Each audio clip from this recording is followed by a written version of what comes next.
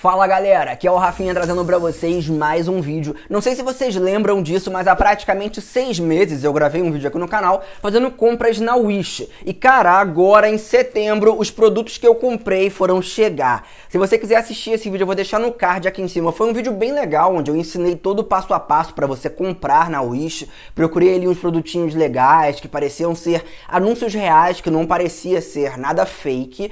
Comprei esses produtos, foram cinco no total, só que um deles foi cancelado dias depois do, da compra, né? Aí eu recebi o estorno no meu cartão de crédito, os outros produtos chegaram aqui, alguns chegaram há duas semanas atrás, o último chegou hoje, então a gente vai fazer o unboxing desses produtos e eu vou contar um pouco da minha experiência de compra lá, dizer se vale a pena. Vamos bater um papo bem legal enquanto a gente abre esses produtos, beleza?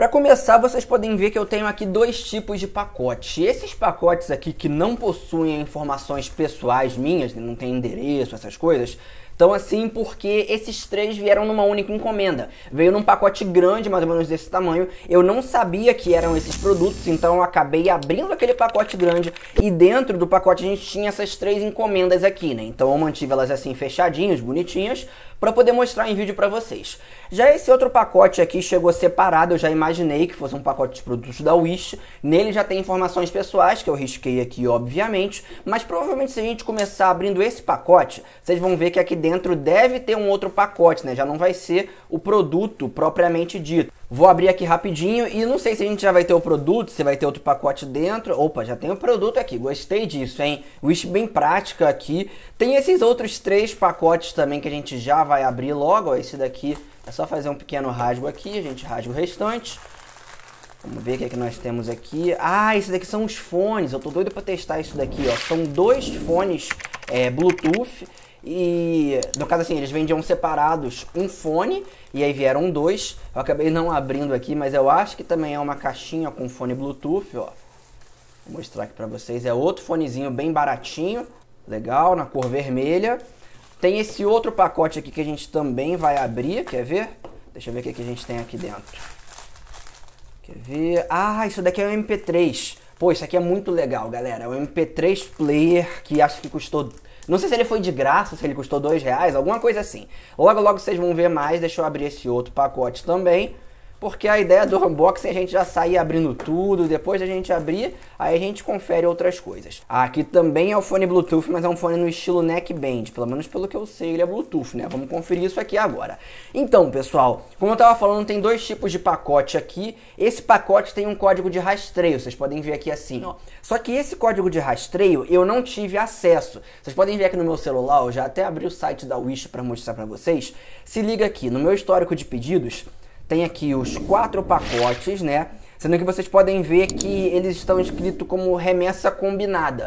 Vocês vão ver que nos detalhes a gente vai conseguir ver esse código, né? Esse WL final 167 FPL, ó.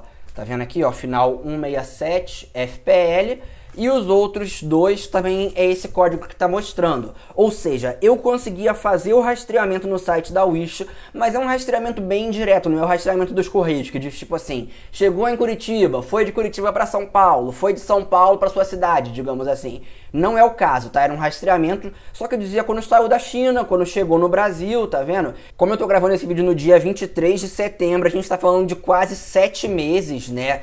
Depois da compra para os produtos chegarem para mim. Então foi tudo muito demorado, mas agora vamos ver os produtos, né, galera? Olha só, esse aqui é o fone Bluetooth. Aqui vocês podem ver que o fone veio com bateria, ele tá piscando aqui, né? Uma, não sei se dá para vocês verem aí no vídeo, mas tem uma luzinha azul e tem uma luzinha vermelha, ou seja, sinalizaria que ele tá procurando um dispositivo para parear.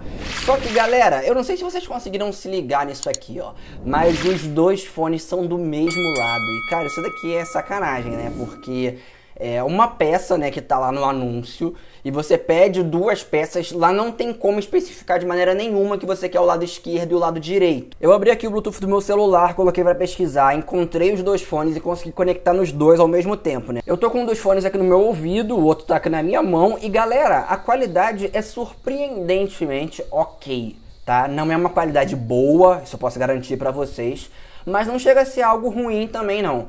Parece muito com aqueles fones com fio de qualidade normal, é, que você. que não são intra-auriculares, sabe? Aqueles fones que ficam, digamos que, pendurados na sua orelha, eles só na orelha, sem entrar no canal auditivo. Só que o grande problema é o seguinte: enquanto eu dava play em um fone, o outro automaticamente parava. Eu tô reproduzindo música nesse fone aqui e o outro que tá no meu ouvido, né, que eu tô tirando aqui agora, ele automaticamente para. Inclusive eu vou mostrar para vocês aqui um detalhe que é o seguinte, ó, vamos lá nas configurações de Bluetooth.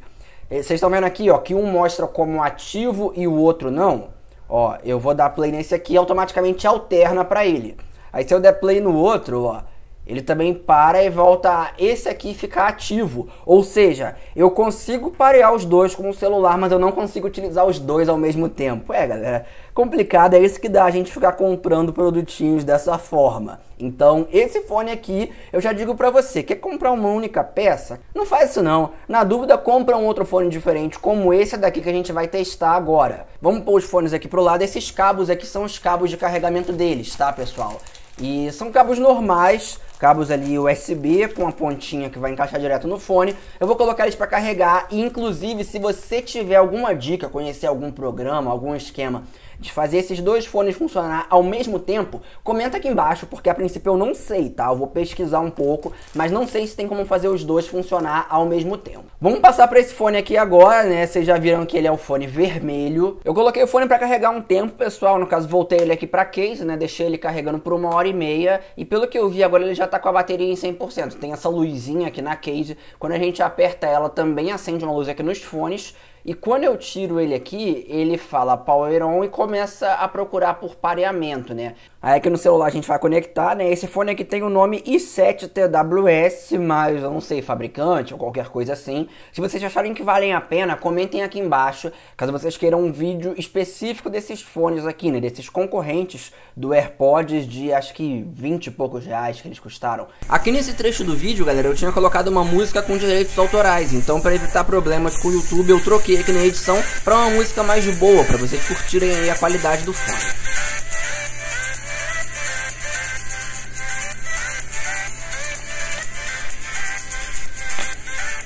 Acho que deu para ter uma ideia, né, que o volume dele é bem alto. Se vocês quiserem um vídeo específico desse fone aqui, analisando ele, testando ele, comentem aqui embaixo. Eu vou colocar na case aqui de volta, né? Só a gente apertar aqui que ela desliga e automaticamente os fones desligam também, ó. Só de eu apertar aqui, Olha lá, eles já ficam apagados. Vamos passar para o próximo produto agora, que também é um fone, né? Só que esse fone já é no estilo neckband.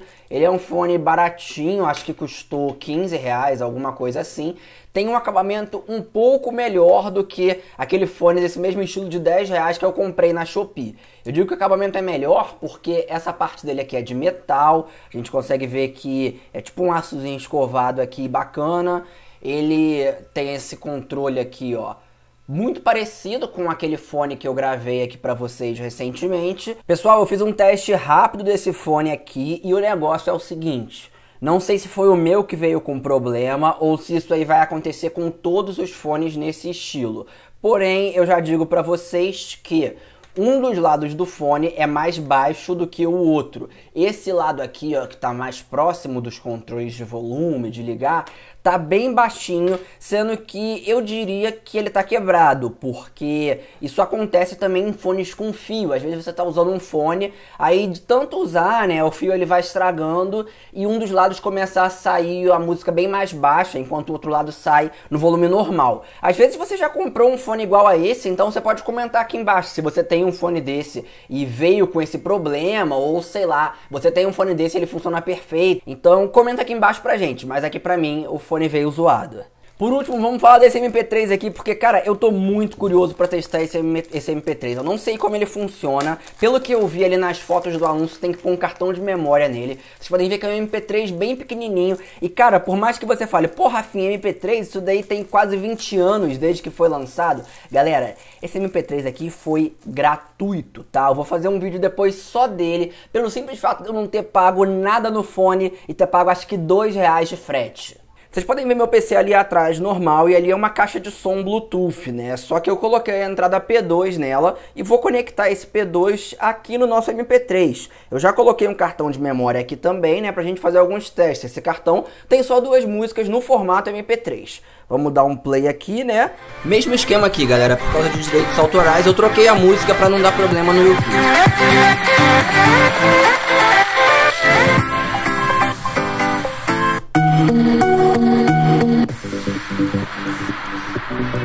Abaixando o volume aqui, né? Normal. Então, topzera. Esse MP3 funciona. E, cara, isso aqui foi de graça. É só carregar colocar um foninho aqui e sei lá, se eu quiser fazer exercícios ouvindo música sem levar o celular, ir pra academia, fazer qualquer coisa onde eu não queira levar o celular e queira ouvir uma música, eu vou usar isso daqui muito. Pra gente concluir aqui, vocês podem ver todos os produtos que nós compramos. Gostei muito do foninho aqui na case branca. Esse fone aqui, infelizmente, é legal, mas se você comprar aí dois com o intuito de utilizar em simultâneo, você provavelmente vai ser enganado, vai comprar dois fones e vão vir fones do mesmo lado. O MP3 nem se fala, né, galera? Se vocês quiserem comprar qualquer um desses produtos, o link vai ficar aqui na descrição. E se você puder comprar pelo meu link, isso me ajuda muito, porque gera um cashback que eu vou utilizar aqui aqui no canal para comprar mais produtos para fazer vídeos para vocês. Inclusive, logo vai sair um vídeo no canal, talvez comprando um celular na Wish, comprando alguma coisa mais cara, beleza? De todos esses produtinhos, acho que esse fone aqui Bluetooth Neckband é o que eu menos posso recomendar, porque um lado mais baixo do que o outro realmente é sacanagem. Praticamente perde a utilidade do fone. Mas enfim, esse aqui foi o vídeo de hoje. Espero que vocês tenham gostado. O link para comprar outros produtos aqui no Brasil, né, que a gente está vendendo através da lojinha do Gui Cantanado, vai ficar aqui na descrição. Com isso eu vou ficando por aqui. Um abraço a todos vocês. Valeu!